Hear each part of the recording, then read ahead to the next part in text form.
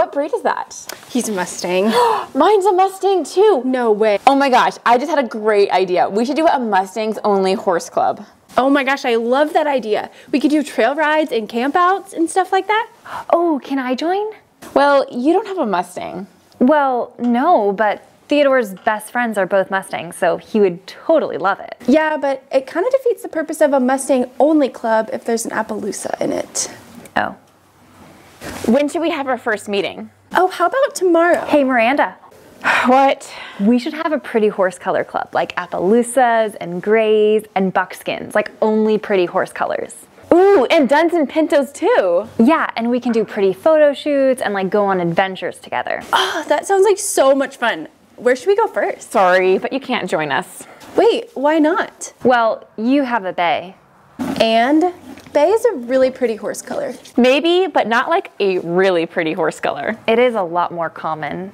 Yeah, it's a lot more common, but look at this face. Yeah, he's cute in his own way, but he's not a special color. But Jaeger is the most well-trained horse in the barn. He's constantly winning ribbons and makes people feel so comfortable in the saddle. Yeah, those are all like well and good and everything, but this club isn't based off of merit. It's based more on color. Well, I get compliments on his color all the time. Really? By who? Just the other day, some random lady stopped me on the trail and said he was gorgeous. Hmm. Were you on that trail ride by yourself?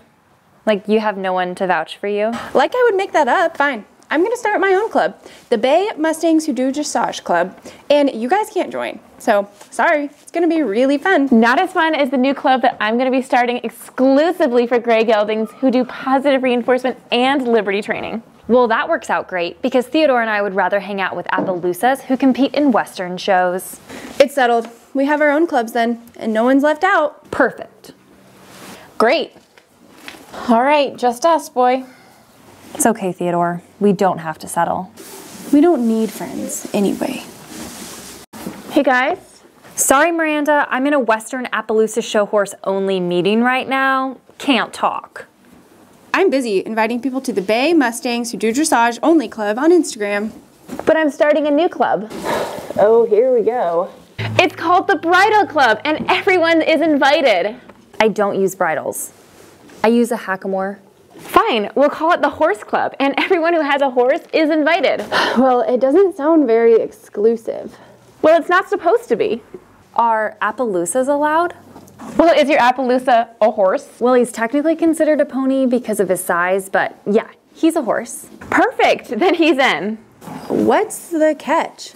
Nothing, just forming a club for gray Mustang geldings who only do positive reinforcement and liberty training sounded like a good idea at first, but then it just got lonely. Yeah, and my Appaloosas who compete in Western horse shows only club was kind of small. Yeah, I was having the same problem finding people for the Bay Mustangs Who Do Dressage Only Club. So we can all be in the horse club then? Yep, it's exclusively non-exclusive.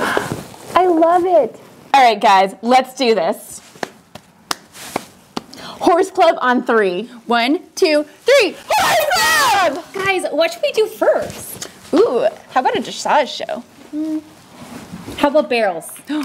a liberty practice session. Hmm. Oh, best idea yet. I think we should go on a trail ride! Geldings who do positive reinforcement and liberty. Okay. Merlin.